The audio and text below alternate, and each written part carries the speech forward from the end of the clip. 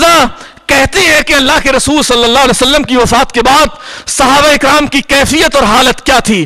کہتی ہے کہ صحابہ اکرام کی حالت اور کیفیت ان بھیڑ اور بکریوں کی طرح سے تھی۔ جس طرح جو بکری اور بھیڑ بارش کی رات میں درندوں کے جنگل میں اکیلی کھڑی ہو۔ چاروں طرف سے صحابہ اکرام کو دشمنوں کا خطرہ تھا۔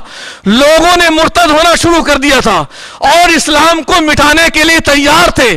ابو بر صدیق رضی اللہ تعالیٰ عنہ نے اتنے مشکل حالات میں فیصلہ فرمایا تھا کہ جس لشکر کو روانہ کرنا تھا اللہ کے رسول کو نہیں کر سکے، لیکن میں اس حکم کو نافذ کر کر رہوں گا۔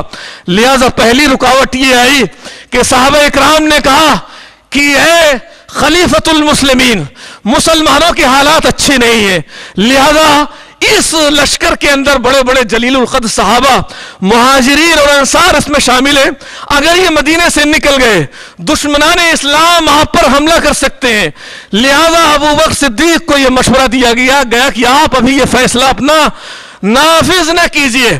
ابو بکر نے کہا کہ اگر ہاں، مجھے درندے اچک لے جائیں، تب بھی میں اس فیصلے کو نافذ کر کر رہوں گا۔ دوسری رکاوٹ کھڑی ہوئی، جو کمانڈر تھے اس لشکر کے جو امیر تھے، اسامہ ابن زید رضی اللہ تعالی عنہ، ان کو انہوں نے درخواست عمر ابن خطاب رضی اللہ تعالیٰ عنہ کو سپرد کی کہ آپ میری طرف سے یہ درخواست کریں۔ ابو بکر سے کہ مجھے خلیفت المسلمین، حرم رسول، اللہ کے رسول کی ازواج متحرات اور عام مسلمانوں کے سلسلے میں تشویش ہے کہ اگر مسلمانوں کا یہ بڑا لشکر نکل گیا تو دشمنان اسلام اسلام کا خاتمہ کر سکتے ہیں، لہٰذا آپ ابھی اس لشکر کو روانہ نہ کیجیے۔ تو اس کا جواب ابو بکر صدیق رضی اللہ تعالیٰ عنہ کے الفاظ میں سن لیجیے۔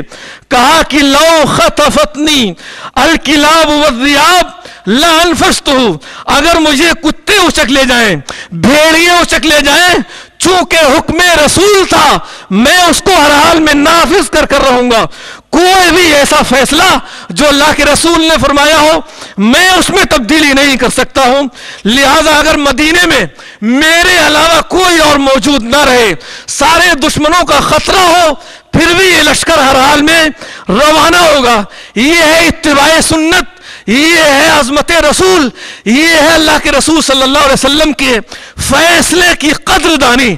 جن لوگوں کے دلوں میں عظمت سنت رسول ہوتی ہے، وہ دشمنوں سے نہیں ڈرا کرتے ہیں۔ اللہ کے رسول کے فیصلے کو نافذ کرتے ہیں۔